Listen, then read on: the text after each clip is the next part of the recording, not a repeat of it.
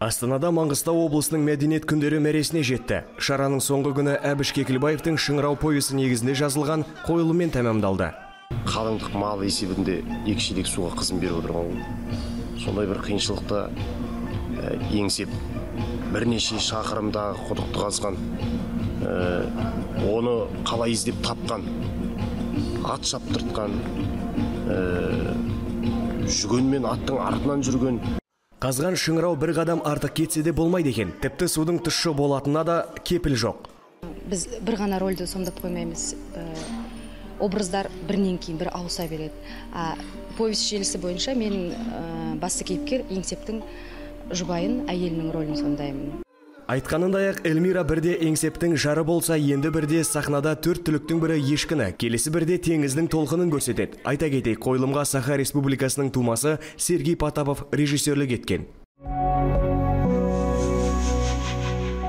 Оның өнері өрге домалады. Байқауларда бағы жанды, жүлделі орындар мен жемісті жылдар ел алдында есеп беруге міндеттеді. Қуанышын көпшілікпен бөлісуді перзенттік парызы санаған Азамат Жылтыркөзов Астана опера театрының камералық залында кезекті кешін өткізді. концерттің көбісі көп бағдарламаның үлк- үлкен бөлігі жаңа шығармалардан тұрады Ә, сол себептен енді енді профессионалды музыканттардың ішінде ол ә, қалай айтсам кейбіреулері енді біздің аға буын кезінде орындаған. Қазір көп шығармалар сол, сол композиторлардың орында- орындамай жатыр. Музыкант сирек орындалатын шығармаларды тыңдарманға ұсынуды жөн көріпті.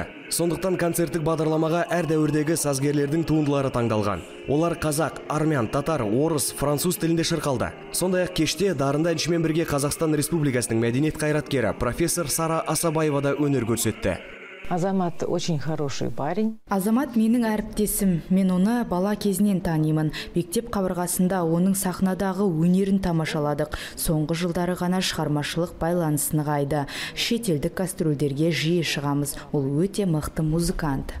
Айта кетейік, әншінің өзі жуырда Еревандағы Арам Хачатуран атындағы 13-ші халықаралық байқауда өнер көрсетіп, жүлделі екінші орынды иеленді. Бұдан бөлек Азамат Жылдыркөзов Рүстем Яхин атындағы 4-ші халықаралық байқау мен Георгий Свиридов атындағы халықаралық доданың бірінші жүлдесіне қол жеткізген болатын. Оңтүстік Қазақстан облыстық опера және балет театры жаңа маусымының шымылдығын түрді. Шығармашылықтың 10 жылына қадам басқан ұжым Қыз жібек операсын сахналады. Евгений Брусиловскийдің операсы алғаш рет көрерменге 1934 жылы жол тартқан. әндерінің айтылу темпі өте жылдам. Ә, яғни оны техниканы меңгеру керек. Біріншіден вокал операны айту ә, яғни кез келген опера әншілеріне классикалық классика әншілеріне өте оңай түспейтін дүние. Шығарма желісінің өзгешелігі жесір қалған жібекті төлегеннің бауыры сансызбайға әмеңгерлікпен тұрмысқа береді. Жаңа маусым жас әртістер үшін шығармашылықтың бастауы болды.